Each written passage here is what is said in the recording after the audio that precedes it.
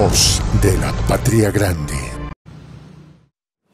Venezuela condena rotundamente el fallo del juez federal argentino Federico Villena, quien tomó la decisión de decomisar y entregar a Estados Unidos el avión venezolano de la aerolínea Emtrasur.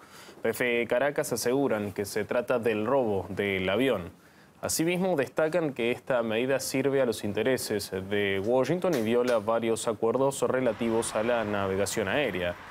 Recordemos que la aeronave llegó a Argentina en junio del 2022 y desde entonces eh, permanecía bajo custodia en el aeropuerto de mm, Ezeiza de Buenos Aires. Esto debido al hecho de que a los tripulantes venezolanos e iraníes se les acusó de ser sospechosos de espionaje. Inicialmente fueron detenidos, pero después los pusieron en libertad por falta de evidencias.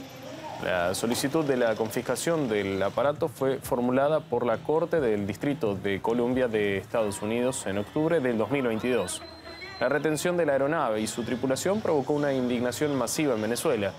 En Caracas, miles de personas se unieron a las protestas para exigir la devolución de la aeronave. Voz de la Patria Grande.